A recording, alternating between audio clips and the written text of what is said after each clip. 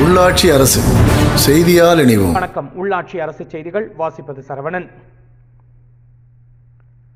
தொழிலாளர் தினத்தினை முன்னிட்டு தொழிலாளர் தினமான இன்று ஊராட்சிகளில் கிராம சபை கூட்டம் நடத்த வேண்டும் என்று தமிழக அரசு அறிவித்திருந்தது. இந்த நிலையில் கன்னியாகுமரி மாவட்டம் நாகர்கோவில் அருகே உள்ள பீமநகரி ஊராட்சியில் அலுவலகம் முன்பு வைத்து கிராம சபை கூட்டம் நடைபெற்றது. இந்த கிராமத்து கூட்டத்தில் அப்பகுதியைச் சேர்ந்த ஏராளமான பெண்கள் ஆர்வமுடன் கலந்து கொண்டனர்.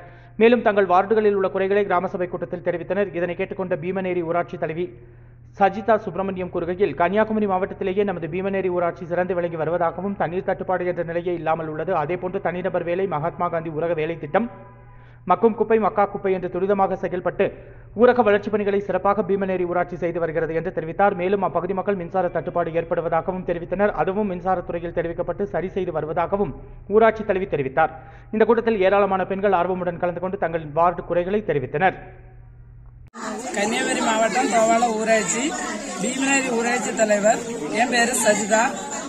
இன்னைக்கு மெய்தினா மெய்தின வாழ்த்துக்கள் அனைவருக்கும். இன்னைக்கு மெய்தின எல்லா ஊராட்சியிலுமே இன்னைக்கு மெய்தின கிராம சபை நடந்துட்டு இருக்குது நம்ம ஊராட்சியில் இன்னைக்கு கிராம சபை நடந்துட்டு இருக்கோம் எங்க டிபார்ட்மெண்ட்லருந்து பிடிஓ சார் ஏடி சார் எல்லாருமே வந்து கலந்து கொண்டாங்க.